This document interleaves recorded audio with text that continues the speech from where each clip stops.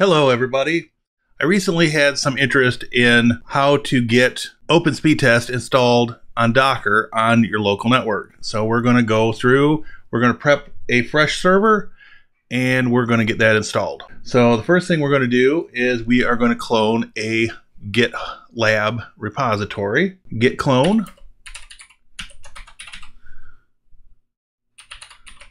gitlab.com slash bmcgonag slash docker underscore installs. And then we're going to change into docker underscore installs. All right. If we do lslah, you can see that the install script is not executable. So we're going to remedy that by doing chmod plus x install docker nginx proxy manager. And the nice thing about this script is that you don't have to be root to run it. It will prompt you for sudo credentials when necessary. So in this case we're running a 2204 server. So we're going to select number 4 Enter sudo password. Docker CE, yes. Compose, yes. Everything else is going to be no. And it's going to go through its install. I'll speed this up in post just to make this video a little bit shorter.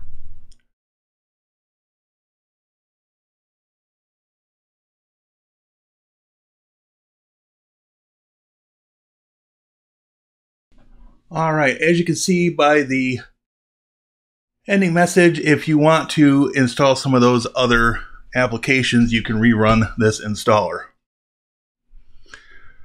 But for the sake of argument for this video we are going to install a piece of software called Dockge.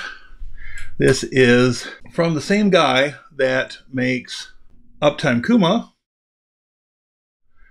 And so the first thing we're going to do is we're going to copy this line here. We'll come back over here. We are going to change to the root user.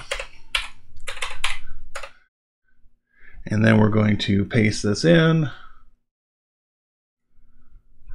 So make directory slash opt slash stacks and slash opt slash dockge. And we're going to change into the directory. We're going to download the YAML file. Paste that in.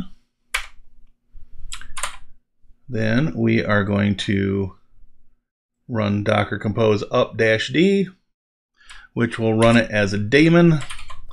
And that means that it's going to start running in the background.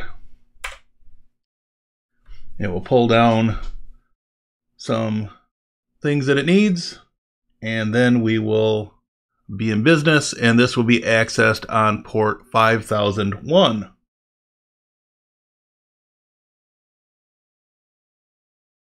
All right, if we do Docker PS, we can see that we do have Dockge running on port 5001.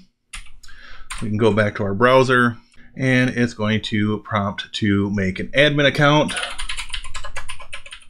and we're in Dockge. Now, Dockge is a web-based manager for Docker. Similar, but maybe a little simpler than Yacht or Portainer. So we're going to go to the Add Compose button, and then we're going to come over to Open Speed Test right here. Um, we can copy this.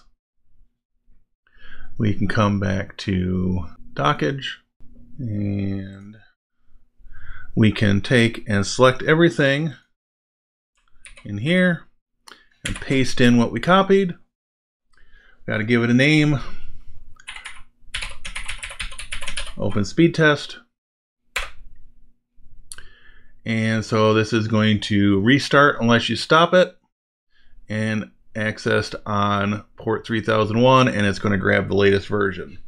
So if we say save And then we can say start. And that will pull down the image it needs. And it's going to start up and the status says started. So we can come over here and go to our IP address, port 3001. It's actually port 3000. Update my notes while we're at it. And so this is going to test from the computer I'm recording this on to that uh, virtual machine on my Proxmox server that's running Docker. And so I wouldn't take these speeds with a whole lot of merit uh, because my machine that I'm recording this on has a two and a half gig Ethernet card. Uh, that one over there has a one gig card. And after this test is done, I'll show one other test. And you can see what speed is happening between two virtual machines on the same host. So if we come over here, we've got a Mint VM, and we will reload this. And we'll run a speed test from here. And so both these VMs are running on the same box. Now, if I had a two and a half gig network card in the server, that I could plug into the same switch that I've got my main machine on, we would see higher speeds than what we got in that last test. So I just wanted to show that it is capable of speeds higher than what was showing in this initial test over here. Uh, still, this is not awful on a local network. Uh, but I do question whether I've got some potentially bad cabling somewhere in the mix. But in any event, that is how to get Open Speed Test installed in Docker on your local network. I will put information in the description on the three projects that I used the Docker install script, the Dockge install, and the Open Speed Test install. Until next time, thank you for watching. I'll see you in the next video.